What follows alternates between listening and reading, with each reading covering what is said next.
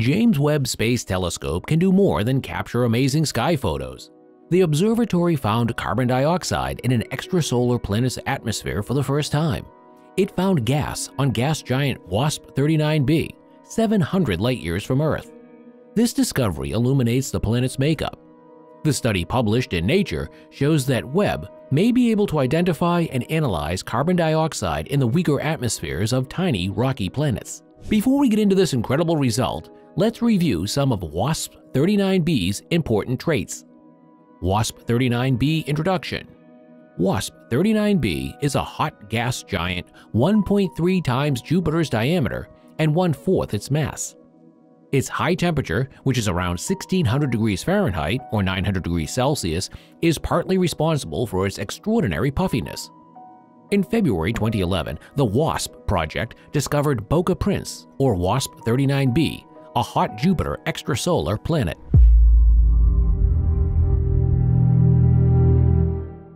Water dominates its atmosphere. For the first time, exoplanet WASP-39b's atmosphere included carbon dioxide.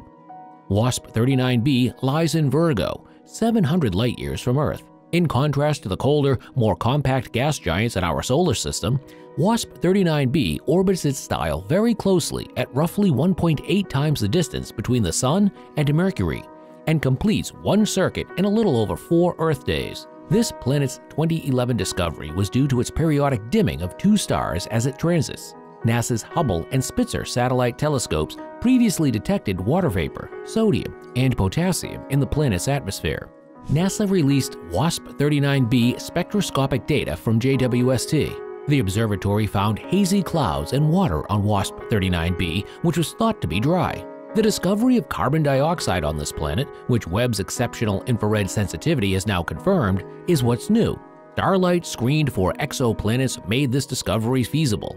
Scientists aim their telescopes to discover the chemical makeup of the planetary atmosphere. They examined how the atmosphere filters starlight at wavelengths that correspond to different chemicals. Instead of seeing them from above, Transiting planets like WASP-39b, whose orbit we witness, may be used by researchers to analyze the atmosphere of the planets during transit. Some of the starlight is partially blocked by the planet, causing overall darkness, while some of it is transmitted through the planet's atmosphere by evaluating minute oscillations in the brightness of the transmitted light over a number of wavelengths. Due to its inflated atmosphere and rapid transit, gases absorbed multiple color combinations, allowing scientists to precisely analyze an atmosphere's makeup. Transmission spectroscopy and carbon dioxide detection are excellent on WASP-39b. The researchers observed WASP-39b on July 10 using Webb's Near-Infrared Spectrograph and NIRSpec. The exoplanet's spectra show the first clear evidence of carbon dioxide in a planet's atmosphere beyond our solar system around 4.1 to 4.6 microns, there's no space for question. It is clearly existing on the planet WASP-39b. According to planetary scientist and co-author Peter Galp of the Carnegie Institute for Science in Washington, D.C., the new telescope's August 24, 2022 discovery represents its first full scientific finding. It also suggests that smaller, stony worlds may have greenhouse gases like Earth's. Zafar Rustamkulov, a Johns Hopkins University alumnus who works on the JWST Transiting Exoplanet Community early release science tape, said that the massive carbon dioxide feature captivated him. He said exoplanet science reached a milestone, making it remarkable. Every scientist is pleased with this finding. Such a revolutionary change has never before been seen by an observatory. This produces a wide range of colors in the planetary transmission spectrum between 3 and 5.5 microns, which is essential for determining the concentrations of gases like water, methane, and carbon dioxide in various exoplanet forms. Natalie Batalha of the University of California, Santa Cruz is directing the project. She said finding a specific carbon dioxide signal on WASP-39b is hopeful for discovering atmospheres on planets with similar terrestrial masses. Understanding the planet's atmosphere can reveal how it originated over time asteroids may have boosted carbon on Earth and carbon dioxide in the atmosphere. The planet's atmosphere may have more carbon dioxide if the star's radiation destroyed lighter elements. According to Arizona State University's Mike Leiner, carbon dioxide molecules are sensitive tracers with a tale of a planet's genesis. We may establish the ratio of solid to gaseous components utilized in the creation of this gas giant planet. Over the following decade, the JWST will measure several planets, providing planet genesis and solar system peculiarities. Carbon dioxide may exist in atmospheres across the universe, despite needing a JWST-powered telescope to find it. Batalha claims that carbon dioxide is prevalent in the atmospheres of all planets.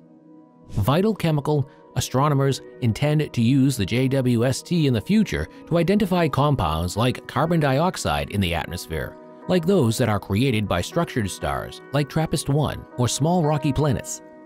Some of those planets are far enough from their star to support liquid water, making them attractive places to hunt for life. WASP-39b shows that exoplanets can have very different compositions from those in our solar system, according to co-author David Sing of Exeter University.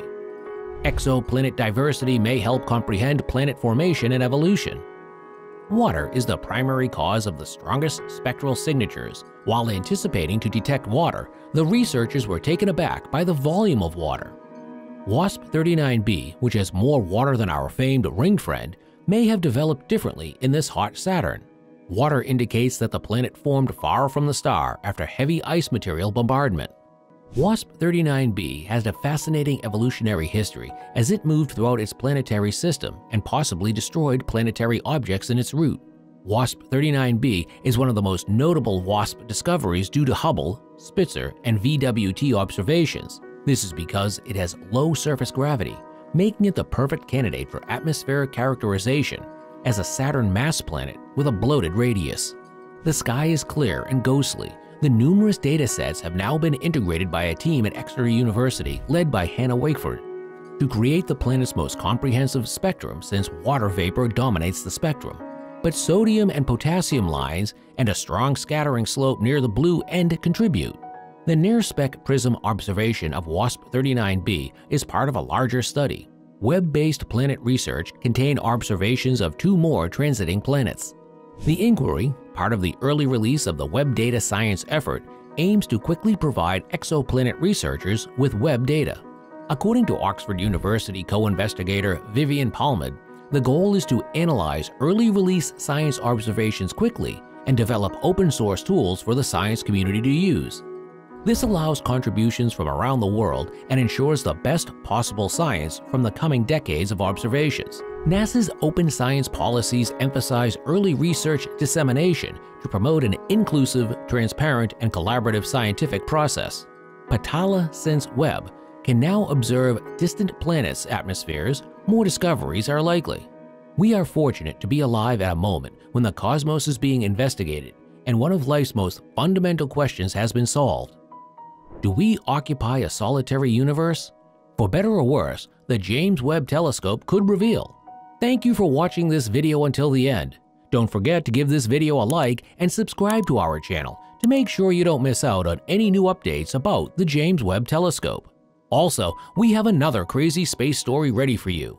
Click on the video on your screen and let us take you onto another space adventure. See you there!